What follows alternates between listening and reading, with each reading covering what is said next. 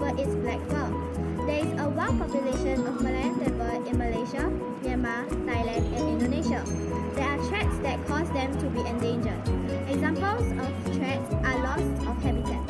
Forests that, are, that they live in are being destroyed for other land use such as oil plantations.